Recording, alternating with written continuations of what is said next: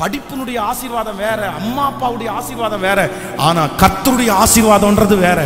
நான் என்ன சொல்றேன்னா உங்களுக்கு படிப்பினுடைய ஆசீர்வாதம் தேவைதான் உங்க அம்மா அப்பாவுடைய ஆசீர்வாதம் தேவைதான் ஆனா இதுக்கு எல்லாத்திற்கும் மேலாக யாருடைய பிளஸ்ஸிங்ஸ் உங்களுக்கு இருக்கணும்னா ஆண்டவருடைய ஆசீர்வாதம் உங்க தலை மேல இருக்கணும்.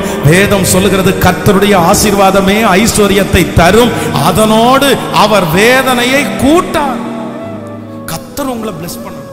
ஆண்டவர் உங்களை ஆசீர்வதிக்கணும். உங்களுக்கு இருக்கிற எல்லா ஆசீர்வாதங்களும் இருக்கட்டும். நீங்க இன்னைக்கு விரும்புங்க. நீங்க இன்னைக்கு ஆசைப்படுங்க. ஆண்டவரே நீங்க என்ன பிளஸ் பண்ணுங்க ஆண்டவரே. நீங்க என்ன ஆசீர்வதிங்க ஆண்டவரே. நான் உங்க சமூகத்துல ஓடுறது நான் உங்க சமூகத்துல பொருத்தம் எடுக்கிறத பார்த்து ஆண்டு நீங்க நீங்க முழங்கால் படிடுவீங்க. கத்தருடைய கரம் உங்க தலை மேல இருந்து என் மகளே நீ கோடாகோடியாய் பெருகுவாய்.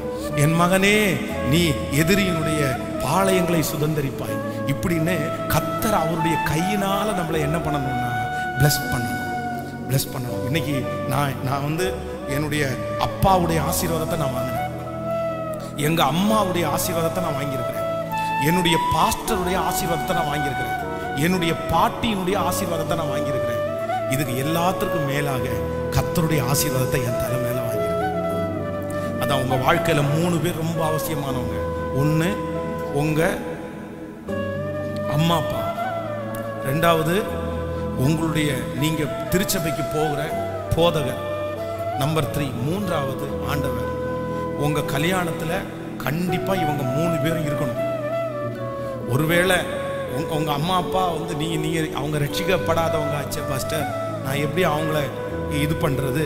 நான் என்ன நம்புறேன் அப்படின்னா நீங்க ஜெபம் பண்ணுங்க. ஆண்டவர் காரியங்களை உங்களுக்கு அனுகூலமாய் மாற்றி தருவார் ஆண்டவரால் மாற்ற முடியாதது எதுவும் இல்லை. நீங்கள் ஜெபிங்க உங்களுடைய திருமணம் நடக்கும்போது கண்டிப்பாக இவங்க மூணு பேருடைய ஆசீர்வாதம் உங்களுக்கு கண்டிப்பாக இருக்கணும். ஃபஸ்ட்டு உங்கள் திருமணத்தில் அது கத்தருடைய நடத்துதலாக இருக்கணும். ஆண்டவர் பிளஸ் பண்ணின பையனாக இருக்கணும். ஆண்டவர் பிளஸ் பண்ணின பொண்ணாக இருக்கணும். அது வந்து நல்லதோ கெட்டதோ கருப்போ சிவப்போ இல்லைன்னா கால் நொண்டியோ முடமோ பணம் சம்பாதிக்குதோ சம்பாதிக்கலோ இதெல்லாத்தையும் விட்டுருங்க. தேவனுடைய நடத்துதல் ஆண்டவருடைய ஆசீர்வாதம் அந்த திருமணத்தில் இருக்கணும். நம்பர் டூ ரெண்டாவது உங்கள் அம்மா அப்பாவுக்கு நீங்கள் திருமணம் பண்ண போகிற அந்த இடத்துல வந்து மனப்பூர்வமாக அவங்க வந்து நிற்கிற அளவிற்கு கத்தக்கிரிய செய்யணும். ஆவிக்குரிய விஷயத்தில் ஒருவேளை அப்படி இருந்தால் கூட பரவாயில்ல.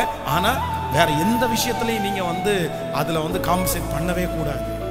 நம்பர் த்ரீ மூன்றாவது உங்க பாஸ்டர் ஒருவேளை நீங்க நினைக்கலாம் பாஸ்டர் நீங்க நினைக்கிறது மாதிரி எங்க பாஸ்டர் அப்படி இல்லை இப்படி இல்லைன்னு. நான் சொல்றேன் அந்த நேரத்தில் அந்த சமயத்துல உங்களை வழி நடத்துறதற்கு கத்தர் கொடுத்திருக்கிற மேய்ப்பனுக்கு அவர்கள் அவங்க எப்படி இருக்காங்களோ எனக்கு அதை பற்றி எல்லாம் நம்ம யோசிக்க வேண்டியதில்லை. அவங்க கத்தருக்கு கணக்கு கொடுத்துருப்பாங்க. அவங்களுக்கு கீழ்ப்படிந்து அவருடைய அன்பிற்கு பாத்திரமாய் நடக்க வேண்டியது உங்கள் தலையின் மேலே விழுந்த கடமை ஆமேன்னு சொல்லுங்க பார்க்கலாம்.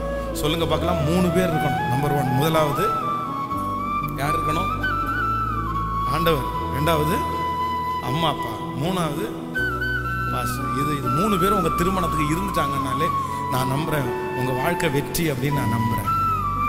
அது வந்து உங்கள் சித்தத்தின்படி இருக்காது. கண்டிப்பாக ஆண்டவருடைய சித்தத்தின்படி தான் அமையும். ஆமையன்னு சொல்லுங்கள்